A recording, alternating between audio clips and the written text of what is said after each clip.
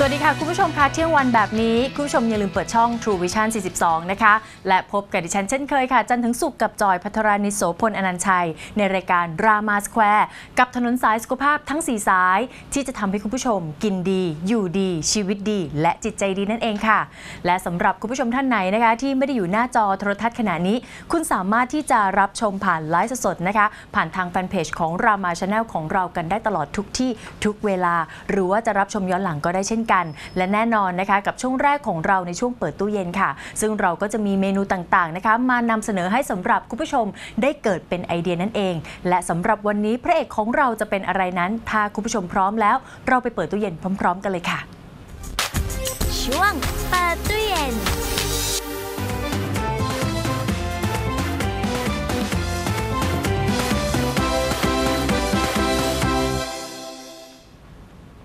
วันนี้นะคะพระเอกของเราในวันนี้ก็คือบักผักเหลียงนั่นเองนะคะ ผักเหลียงหรือว่าใบเหลียงนี่แหละค่ะ ที่หลายๆ คนนิยมชื่นชอบกันในปัจจุบันนะคะ ผักเหลียงถือว่าเป็นที่เป็นพืชผักที่ขึ้นตามทางภาคใต้นะคะ โดยสมัยก่อนเนี่ยก็จะเป็นผักที่ขึ้นตามป่านั่นเอง แต่พอได้รับความนิยมกันมากยิ่งขึ้น ก็นิยมกันปลูกมากยิ่งขึ้นนะคะ แล้วก็เป็นผักที่ขึ้นตามฤดูกาลนั่นเองนะคะสำหรับวันนี้นะคะดิฉันก็เลยจะขอนำเสนอนะคะ ผักเหลียงนี่แหละค่ะมาทำอีกหนึ่งเมนู ซึ่งหลายๆ คนอาจจะคุ้นเคย แต่ว่าก็มีการเพิ่มเติมให้รสชาตินั้นแซ่บขึ้นจี๊ดจ๊าดขึ้นเล็กน้อยค่ะ กับเมนูนี้ที่มีชื่อว่าผักเลี้ยงไข่กุ้งเสียบนั่นเองค่ะ เอาเป็นว่าพาคุณผู้ชมนะคะ ไปชมวิธีการทำพร้อม ๆ กันเลยดีกว่าค่ะ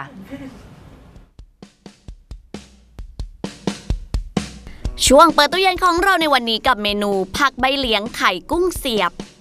ส่วนผสมมีดังนี้ค่ะ ผักเลี้ยงเด็ด 2 ถ้วย กุ้งเสียบตากเส้น1ส่วน2ถ้วย กระเทียม 3 กลีบ น้ำตาล 1 ช้อนชา ซอสปรุงรสเส้น1ส่วน2ช้อนโต๊ะ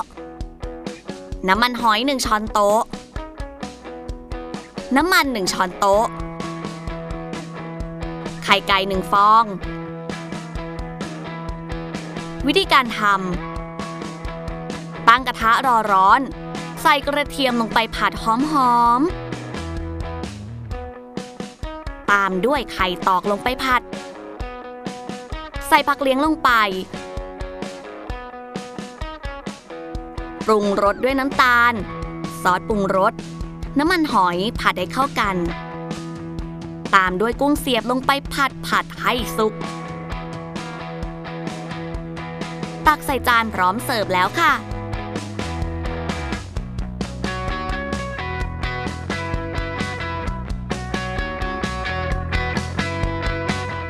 ไงบ้างคะคุณผู้ชมคะกับใบเหลียงผัดไข่กุ้งเสียบนะคะ ก็เพิ่มเติมกับน้ำพริกกุ้งเสียบเข้าไปนะคะ ต้องบอกเลยว่ารสชาตินี่เข้มข้นมากยิ่งขึ้นซึ่งปกติแล้วเขาอร่อยกันอยู่แล้วนะ ถ้าเกิดว่าได้ทานคู่กับข้าวสวยร้อนๆโอ้โหบอกเลยว่ามื้อนี้คุณผู้ชมนี่ก็จะเติมข้าวไม่หยุดเลยทีเดียวค่ะ วันนี้พระเอกของเราก็คือใบเหลียงนั่นเองหรือว่าผักเหลียงนะคะเขาจะมีคุณค่ามีสารอาหารมีประโยชน์อะไรบ้างนั้น ดังนั้นอย่ารอช้าเลยค่ะ เรามาฟังทางนี้กันเลยดีกว่านะคะ ดังนั้นทางรายการของเราต้องขอต้อนรับคุณกนกพรอมรวิชิตเวชนักวิชาการโภชนาการฝ่ายโภชนาการ คณะแพทยศาสตร์โรงพยาบาลรามาธิบดี มหาวิทยาลัยมหิดลค่ะ สวัสดีค่ะอาจารย์ค่ะ สวัสดีค่ะ วันนี้พระเอกของเราก็คือผักเลี้ยงหรือว่าใบเหลียงที่หลายๆ คนคุ้นเคยนั่นเองค่ะนะคะ ซึ่งได้มีการเกริ่นไว้ว่าเป็นผักของชาวภาคใต้ค่ะแต่ว่าปัจจุบันนี้ทั้งหลายภาคนี้นิยมรับประทานกันมากเลยทีเดียว อยากให้อาจารย์พูดถึงเมนูในวันนี้แล้วก็พระเอกของเรากันหน่อยค่ะค่ะสำหรับเมนูในวันนี้นะคะ ผักเหลียงหรือใบเหลียงนะคะ ขึ้นชื่อว่าเป็นราชนีผักของภาคใต้เลยทีเดียว เนื่องจากว่าที่ภาคใต้จะนิยมรับประทานกันนะคะ ก็จะมีมากในแถบฝั่งอ่าจังหวัดละนองชุมพรลงไปเรื่อยเลยนะคะค่ะอ่าส่วนใหญ่ชาวชาวภาคใต้เนี่ยจะนิยมปลูกผักเหลียงแซมในสวนยางนะคะ เนื่องจากว่าอ่าตัวใบเหลียงเนี่ยก็อ่า ขึ้นได้ง่ายนะคะ แล้วก็ขึ้นได้ง่ายที่ทางภาคใต้ด้วยนะคะ แต่ค่ะปัจจุบันเนี่ยก็คือว่าอย่างที่คุณจอยบอกก็คือว่านิยมรับประทานทั่วไปเลยนะคะ ในภาคกลางเราก็มีขายทั่วไปหาซื้อได้เหมือนกันตามอ่าห้างสรรพสินค้า หรือว่าตามตลาดที่จะมีผักพื้นบ้านเหล่านี้ขายนะคะ ก็นิยมนำผักเหลียงเนี่ยมาทำเป็นอ่า เมนูที่ราดกะทิหรือว่าเอาไปแบบต้มในกะทินะคะ หรือว่าอ่านำไปผัดธรรมดา หรือว่ามาลวกจิ้มน้ำพริกก็ได้นะคะสำหรับในวันนี้เนี่ยเรานำผักเหลียงเนี่ยมาทำเป็นอ่าผัดไข่แล้วก็อืมใส่กุ้งเสียบลงไปนะคะ ก็คือเราเพิ่มโปรตีนจากไข่แล้วก็ค่ะกุ้งเสียบลงไปในเมนูนี้นะคะ สามารถรับประทานได้ทุกเพศทุกวัยเลยทีเดียวแล้วก็อ่า เหมาะสำหรับทานกับข้าวสวยร้อนๆ ก็จะยิ่งอร่อยมากเลยค่ะ อืมต้องบอกเลยนะคะ ปกติแล้วถ้าเกิดว่าใบเลี้ยงผัดไข่เราก็คุ้นเคยอยู่แล้วรสชาติมันจะจืดๆเด็กรับประทานได้ผู้ใหญ่รับประทานดี ค่ะ แต่พอเราเติมเป็นน้ำพริกกุ้งเสียบเข้าไป รสชาติเขาออกไปในทิศทางไหนคะ ก็รสชาติก็จะออกไปทางรสชาติเค็มหวานมัน แล้วก็จะอ๋อมีความเผ็ดจากน้ำพริกกุ้งเสียบนะคะค่ะถ้าเกิดว่าเราใส่น้ำพริกกุ้งเสียบเป็นเครื่องปรุงในในในรสชาติของผัดผักอันนี้แล้วนะคะ ดังนั้นเนี่ยเราอย่าลืมว่าเราอย่าปรุงรสอย่างอื่นหนักเกินไป เพราะว่าอืมไม่งั้นเดี๋ยวรสชาติจะกลายเป็นโดดไปทางเค็ม แล้วก็จัดจ้านขึ้นมาทีเดียวนะคะ ดังนั้นเนี่ยเวลาที่เราปรุงเราต้องระวังในเรื่องของการใช้เครื่องปรุงรสเค็มค่ะ นะคะ เพราะไม่งั้นเดี๋ยวจะรสชาติจะเค็มเกินไป แล้วก็สำหรับการเลือกใช้น้ำมัน ก็ค่ะควรจะเลือกใช้น้ำมันชนิดที่ดี เนื่องจากว่าเราบริโภคอ่า เป็นเป็นลักษณะของผัดผัก ดังนั้นเนี่ยเราบริโภคโดยตรงอืมน้ำมันก็มีส่วนเหมือนกันที่จะทำให้อ่าสุขภาพดีด้วยนะคะ ก็คือเลือกใช้น้ำมันชนิดที่ดีแล้วก็ใช้ในปริมาณที่น้อยนะคะอืมนะคะ มาพูดถึงสารอาหารสำคัญกันบ้างดีกว่า เพราะว่าปกติเราก็ทานผักเนี่ยหลายๆคนรู้อยู่แล้วว่าน่าจะมีวิตามินและก็เกลือแร่ แต่ว่าใบเหลียงหรือว่าผักเหลียงนี่แหละค่ะที่เป็นราชินีของผักชาวภาคใต้ เขาจะมีคุณค่ามีสารอาหารอะไรที่ประกอบไปบ้างคะ ค่ะก็สำหรับผักเหลียงนะคะก็เป็นผักใบทั่ว ๆ ไปนะคะ ซึ่งอ่าเมื่อเทียบกับผักเหลียง 100 กรัม หรือ 1 ขีดเนี่ยก็จะมีคุณค่าทางอาหารหลักๆ เลยนะคะค่ะก็จะมีคาร์โบไฮเดรตประมาณ 10 กรัมนะคะ แล้วก็โปรตีนประมาณ 4 กรัม แล้วก็มีใยอาหารสูงถึง 5 กรัมเลยทีเดียว ซึ่งคิดเป็นประมาณ 20%ของปริมาณใยอาหารที่แนะนำต่อ 1 วันเลยทีเดียวนะคะอ่าสำหรับใยอาหารเนี้ก็จะมีคุณสมบัติช่วยในเรื่องของการชะลออ่า โดยเฉพาะชะลอการ การขึ้นของระดับน้ำตาลในเลือดได้นะคะค่ะแล้วก็ช่วยในเรื่องของการขับถ่ายได้ แล้วก็อ่ายังลดความเสี่ยงต่อการเป็นมะเร็งลำไส้ได้อีกด้วยนะคะ แล้วก็ไอ้ส่วนแร่ธาตุในผักเหลียงเนี่ยก็จะไม่มีตัวใดที่มันมันเด่นมากนัก ก็จะมีแบบอ่ามีหลายๆ แร่ธาตุเลยทีเดียว แต่ว่าก็จะมีอย่างเช่น โพแทสเซียม ฟอสฟอรัส แคลเซียม แล้วก็ทองแดง แมงกานีสอะไรพวกนี้นะคะค่ะอ่าสำหรับตัวสารพฤกษเคมีเลยนะคะ ก็จะมีความโดดเด่นเหมือนกันนะคะซึ่งสารที่มีความโดดเด่นก็จะมีอยู่ 2 ตัวนะคะ ซึ่ง 2 ตัวนี้จะเป็นอนุพันธ์ของอวิตามิน A นะคะ ซึ่งจะเป็นตัวลูทีนกับเบต้าแคโรทีนนะคะ แล้วก็สาร 2 ตัวนี้ก็จะมีคุณสมบัติในเรื่องของการชะลอความเสื่อมของเซลล์ได้ แล้วก็ต่อต้านอนุมูลอิสระได้นะคะ แล้วก็มีการ แล้วก็อีกทั้งเจ้าตัวใบเหลียงเนี่ยหรือผักเหลียงก็ยังมีตัววิตามินซีสูงเหมือนกันนะคะค่ะซึ่งสูงสูงถึง 109 กรัมเลยทีเดียวเนี่ยซึ่งถ้าเกิดเราคิดเป็นปริมาณความต้องการวิตามินซีต่อ 1 วันเนี่ยเอ่อสูงถึง 100 กว่าเปอร์เซ็นต์ของปริมาณวิตามินซีต่อ 1 วันที่ร่างกายต้องการเลยทีเดียวนะคะอืม นะคะถือว่ามีประโยชน์มาก ๆ เลยทีเดียวนะคะสำหรับผักเหลียงหรือว่าใบเหลียงที่เรารู้จักแล้วก็คุ้นเคยนั่นเองนะคะ มาพูดถึงใบเหลียงค่ะ มีการแชร์ข้อมูล บอกว่าใบเหลียงสามารถที่จะลดความเสี่ยงต่อภาวะมะเร็งได้ อันนี้เรื่องจริงหรือเปล่าคะค่ะ ก็สำหรับมะเร็งหรือโรคมะเร็งนะคะ ก็ต้องไปดูก่อนว่าสาเหตุเนี่ยมันเกิดจากอะไรนะคะค่ะสาเหตุของโรคมะเร็งก็คือเกิดจากความผิดปกติของเซลล์ในร่างกาย ซึ่งมีการอ่า ผลิตหรือว่าทำให้เกิดตัวที่ไม่มีความต้องการของร่างกายมากเกินไปนะคะ ก็สารเหล่านี้เนี่ยหรือว่าตัวที่มีความผลิตมากเกินไปเนี่ยมันก็มาจากอนุมูลอิสระต่างๆ ที่อาจจะร่างกายอาจจะได้รับจากภายนอกร่างกาย หรืออาจจะได้รับจากการบริโภคอะไรที่มันไม่ดีต่อสุขภาพอย่างเช่น การสูบบุหรี่ หรือว่าการดื่ม ของที่เป็นโทษต่อสุขภาพ เช่นแอลกอฮอล์อะไรอย่างเงี้ยค่ะ หรือว่าเป็นการที่ได้รับควันบุหรี่จากค่ะสิ่งแวดล้อม หรือว่าอ่าการที่เราไม่ดูแลสุขภาพก็จะมีความเสี่ยงต่อการที่ทำให้ร่างกายเราเนี่ยผลิตเจ้าตัวอนุมูลอิสระมากจนเกินไป อืม เป็นที่มาที่ทำให้เกิดเป็นตัวเซลล์มะเร็งต่างๆ ได้นะคะ ค่ะ ดังนั้นเนี่ย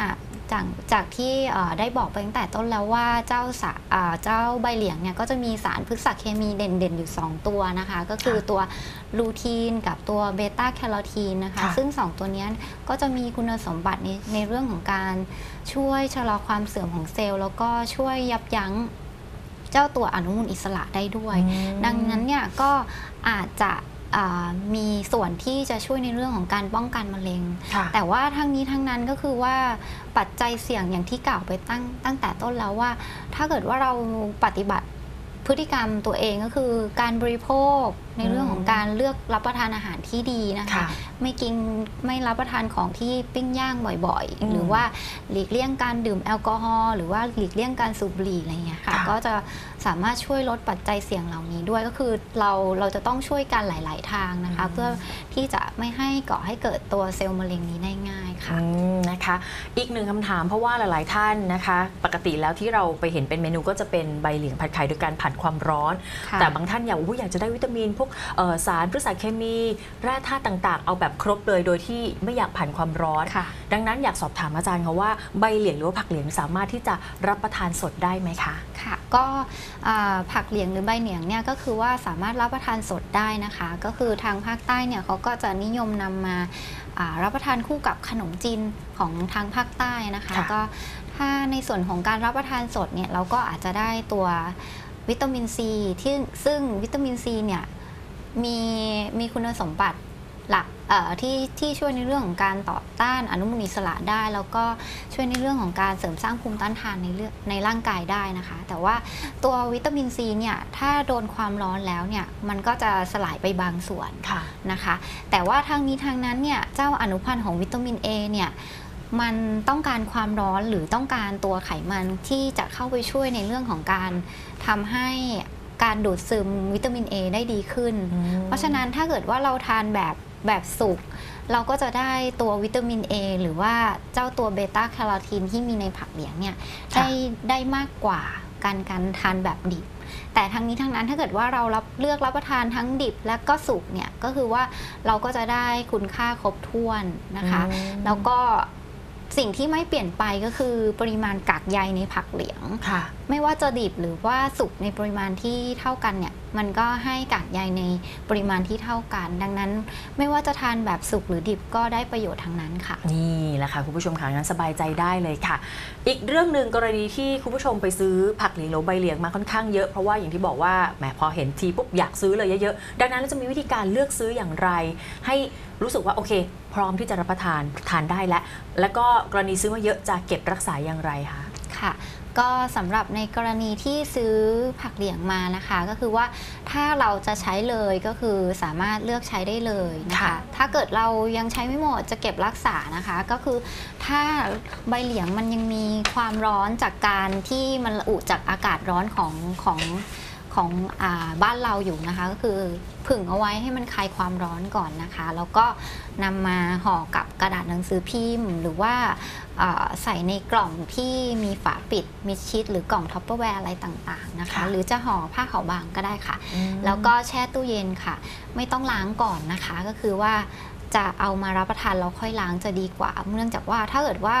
ผักเนี่ยมันมีความชื้นหรือว่ามันมีน้ำมากๆเนี่ยมันก็จะทำให้ผักเสียได้ง่ายกว่าค่ะนะคะ ดังนั้นก็คือว่าไม่ต้องล้างค่ะก็คือเก็บได้เลยนะคะ ทีนี้เวลาเก็บก็คือว่าเก็บในช่องแช่ผักหรือในอุณหภูมิที่ไม่เกิน 7 องศาเซลเซียสนะคะค่ะแล้วก็ไม่ควรเก็บรวมกับผลไม้ค่ะ ควรจะแยกชนิดเลยนะคะ เป็นผักเป็นผลไม้ออกมาค่ะ ก็จะดีกว่า